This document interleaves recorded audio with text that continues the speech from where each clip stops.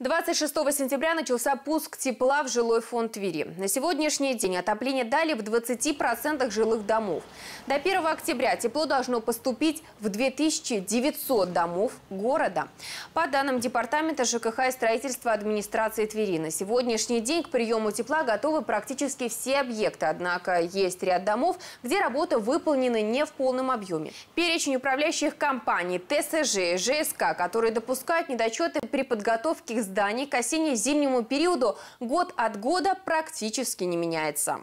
Если же жители видят, что в указанный в графике срок тепло в домах не появляется, то в первую очередь, конечно, надлежит обратиться в свою управляющую компанию и выяснить причину. Поскольку не всегда это зависит от Тверской генерации, могут быть случаи неразвоздушивания внутридомовых систем, либо несвоевременного открытия задвижек на вводе в дом управляющими компаниями. И только в случае, если давление на вводе в дом отсутствует, э, надлежит обращаться в диспетчерские службы города либо Тверской генерации, где будут даны разъяснения э, о причинах и сроках устранения и подключения тепла, если такие отклонения будут.